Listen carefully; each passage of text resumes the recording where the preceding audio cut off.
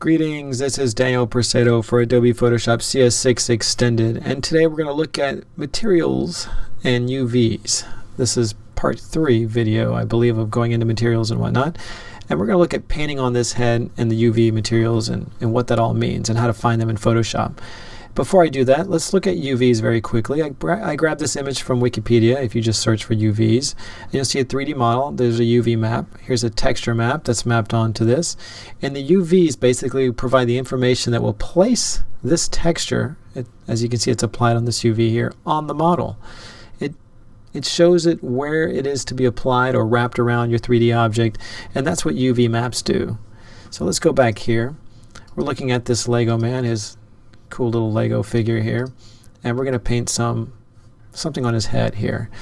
Now, I'm going to go ahead and, and do that right now. I'm just going to do a dot here, dot here, and there you go. Now, where has this been applied? Let's open the texture. And I'm going to uh, arrange my workspace accordingly here. Let's slide him around and close that. And you can see that there's a face in the middle of this map here. Let's back up a little bit and show the full texture here. Now you can look at the UVs on your layer here by going to the 3D menu, Create Paint Overlay, and you'll see wireframe. And it will show you exactly where these things mapped onto the object. Let's zoom in a little bit. And you can see that it generated a new layer with the wireframe. You can see it turn it on and off. I could even save this and you can see that it is applied because it's just another layer another texture, another painting on top of the object here and it's saved.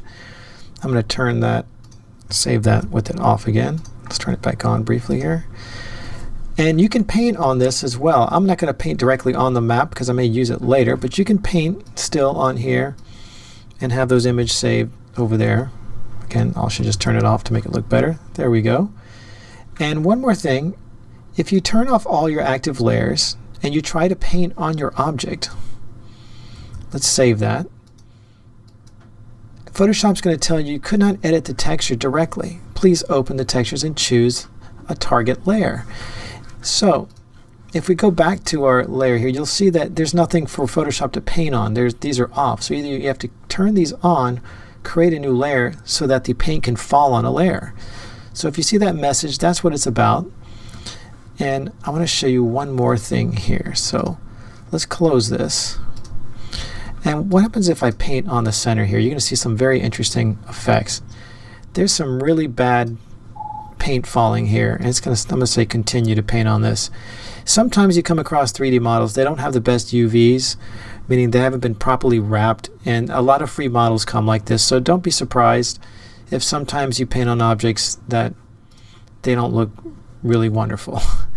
and um, I love change that texture target. Let's turn that back on. See, I kept falling into that trap.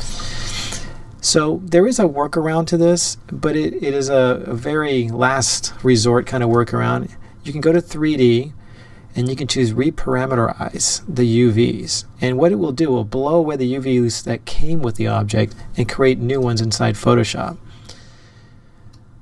And I'll say Okay, let's do it. You can do fewer seams or lower distortion. I'm just going to say lower distortion this time around. And everything's gone, or actually it's been remapped, it's not gone, but the UVs are gone. So if I open this up again, this is still here, but if we go back to 3D, create paint overlay, let's find out where those UVs are. They're down here.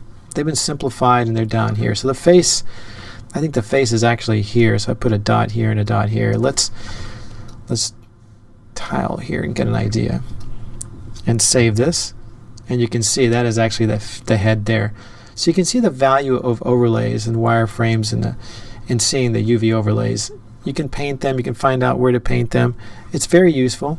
If you have any questions, comments, uh, please respond and I'll try to get back to them as soon as I can. Thanks.